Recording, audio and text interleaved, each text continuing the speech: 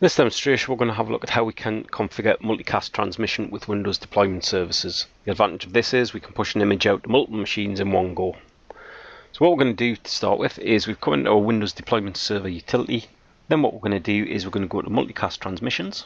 And within multicast transmissions we're going to right click and what we're going to do here is create a multicast transmission. Then what we'll do is we'll fill out the table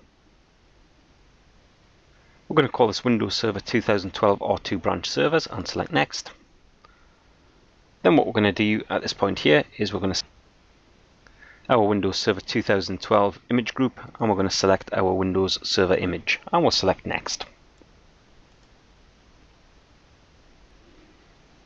On the multicast type we're going to go for autocast so as it says here it starts the transmission automatically when a client requests the image then as other clients request the same image, they may also be joined or will also be joined to the transmission that's already started.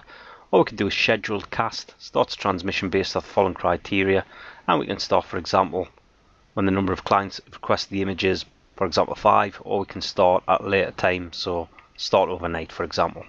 But we will go with autocast and select next. Then what we'll do is we shall select finish. And that's the end of this demonstration of creating a multicast transmission. Thank you.